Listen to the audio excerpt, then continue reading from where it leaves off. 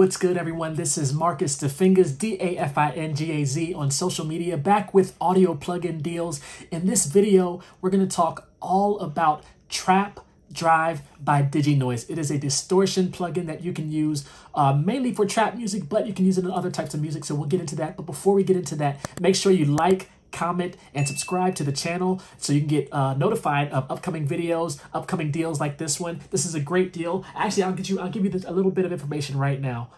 This plugin is free right now. So if you can get it before uh, this limited time offer expires, get it now for free. It is normally uh, not free. It's normally $23.33 uh, or something like that, but it's free now. That's all that matters. So get it now. Here I am in Logic Pro. I'm going to show you what I have. I have uh, the Trap Drive plugin here from DigiNoiz on all the tracks that I use in this beat. Uh, but I'm going to play just a snippet of it without anything, and then I'm going to get into this plugin, see what we can figure out uh, with all these knobs and buttons and options, and see what we can do with Trap Drive. So here's the beat by itself.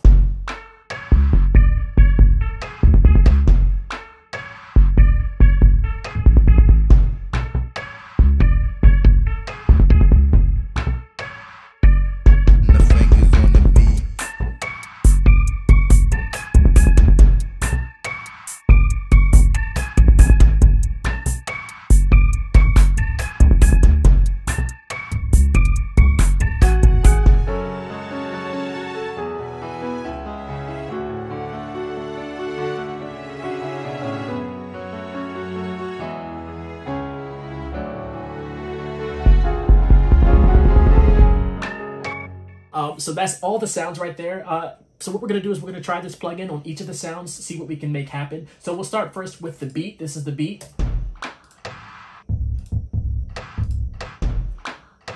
So that's it with it off. It already sounds great, but I think we can enhance it using Trap Drive. So let's turn this on. We have some options here. The only thing that I'm really worried about here are the four big knobs, the input, the type, the amount, the output. I have no idea what these different types are, but you have a lot of different types. Uh, I believe there's some information in the manual you can look up, but it gets really technical with the different bit crushing and all that stuff.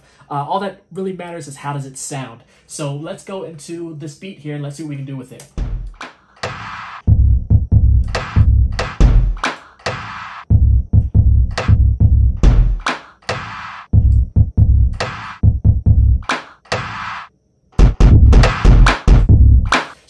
Really violent with the sound. I actually like that. What I'm going to do before we get too far into this is turn all these tracks down by, let's say, down to 5 dB, because I think we're going to be cranking them up with the drive, uh, the Trap Drive plugin. Let's go. Yeah.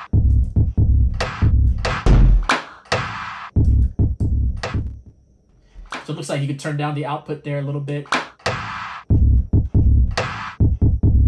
Let's see how it sounds with and without. I'm going to click this button. That'll be turning it on and off. I believe the bypass button also does the same thing as turning it off here in Logic. So I'll use the bypass button because that will be in the plugin. So here we go.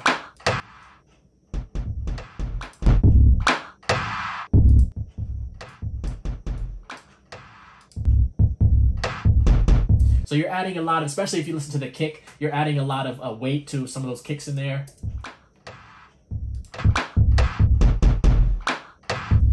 Let's, let's go to the hi-hat. This is doing a fun pattern here.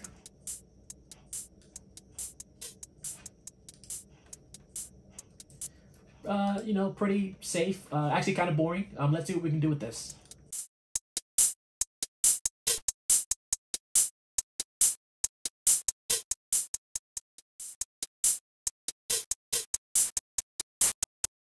So that this sounds like it's doing it going into bit crush mode. So what I'm hearing right now is when you adjust the type, the type and the amount seem to be linked. I could be wrong, but the type and the amount knob seem to be linked. So if I choose this type and I have it all the way down, I'm not going to hear any change. So let's see if that's true. And then the more you crank it up, you'll hear more of the change. So it looks like it goes from low to kind of high uh, or high to low, depending on how you look at it. So let's try these different other types.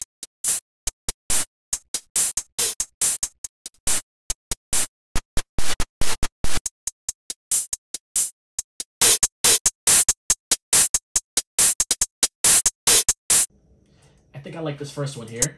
Let's try it with the beat.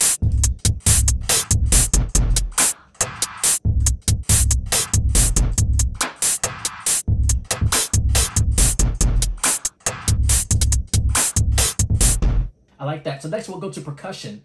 This percussion loop here, um, let's see how it sounds without any of the trap drive uh, distortion going on.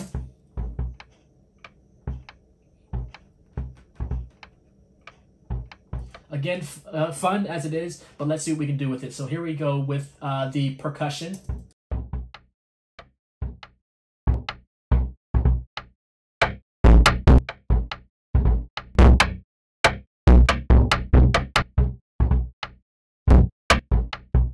So when I hear this one, you hear a lot of the, the distortion happening. I don't want that too much because we do have the kick drum going on, so I don't want to have too much in the low end. So we're going to try maybe one of these middle ones.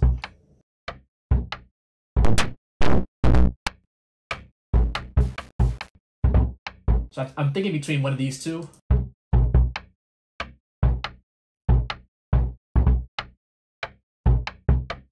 And then let's do a bypass. So this is without it. and this is with. So you can hear it's adding a little bit of energy there. So let's play all these drum tracks together.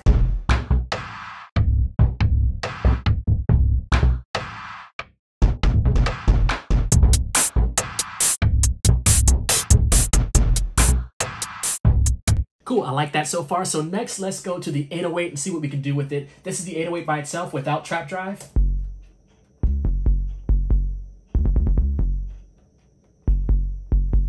So let's see what we can mangle with this thing. We're going to bring up the input a little bit and just go through some of the uh, types here. See, right there, I already like that already. I just hear the energy just, it's already catching my attention. Let's go through the different types. So you can decide if you want a subtle sound depending on the beat you're making or a more aggressive sound. That first one really caught my ear, so I might stick with that, but let's keep going.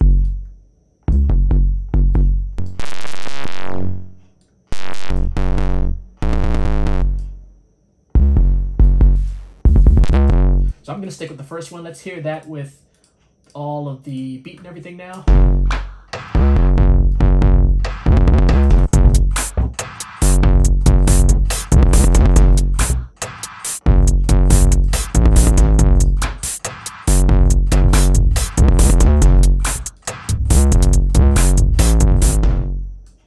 So far so good. So next we're going to go to the keys. The keys are um, sort of the melody that I have during this part, which could be sort of the verse part. So this is what I have going with the keys without the uh, trap drive going on.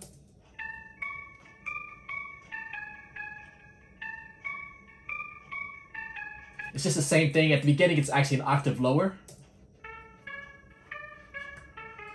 So let's see what Trap Drive can do with that. We're to turn it on. We're to bring up the input a little bit. We're to start with type 1 here and immediately you start hearing right off the bat the the effect from Trap Drive.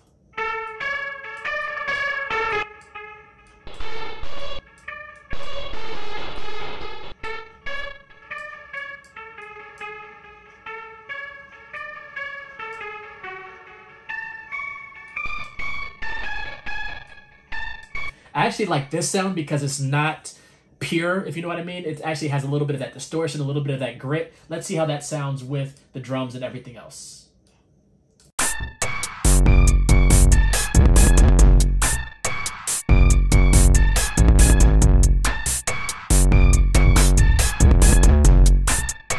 I like that. I like where it's heading. So after that, I have two more sounds that come in, um, sort of when everything else drops out. This is more of like a cinematic element. So I have piano and strings. We'll start with the piano. Let's see what we can do with uh, the trap drive on the piano. Normally, I probably wouldn't put distortion on the piano, but I want to see what we're going to do today, see what happens. So here we go. This is the piano without uh, trap drive.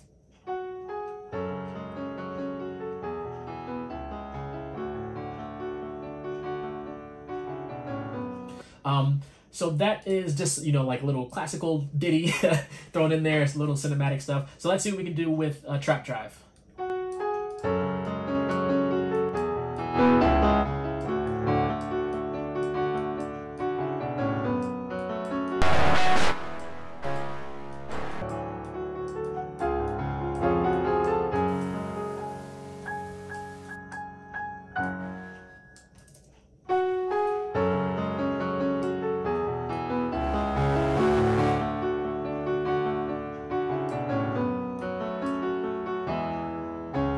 Actually like that. A little bit of subtle uh, uh, bit crushing, a subtle aggression in there. Um, finally, we have strings, which is uh, just orchestral elements, violins, violas, cellos, bass, you know, string instruments. So here we go. This is without trap drive.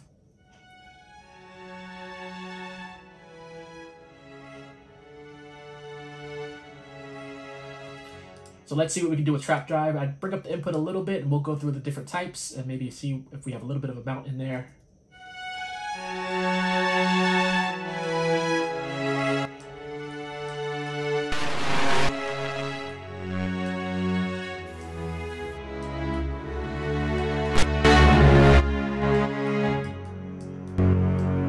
I think I really like the first one. It's a little, it's very subtle um, distortion going on with the first one.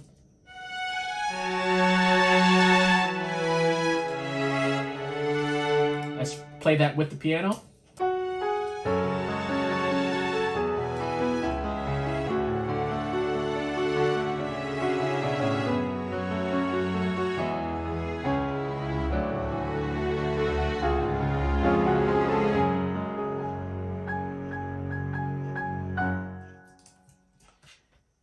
There you have it. Uh, let's play through uh, just a little bit of everything with Trap Drive engaged so you hear how the Trap Drive has brought out each element um, individually, but then as a whole. So here we go.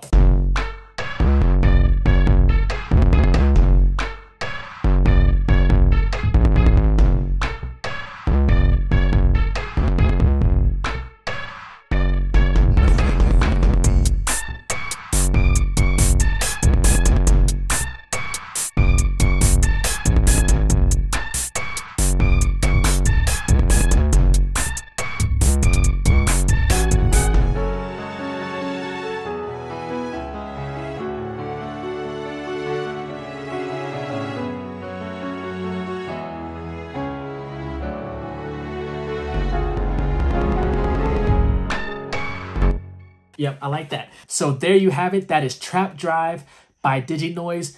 It is VST3 and AU. So if you have a DAW that uses VST3 and AU audio units, you should be good to go. It does not work with VST2 DAWs right now. Maybe they can work on that in the future, but make sure your plugin is compatible with VST3 and AU and you will not have a problem. A great plugin by DigiNoiz Trap Drive. Definitely check it out. Be sure to like, comment, and subscribe to be made aware of other upcoming deals just like this to be notified of upcoming videos. And until then, be safe and be well, everyone. All right, all right, peace.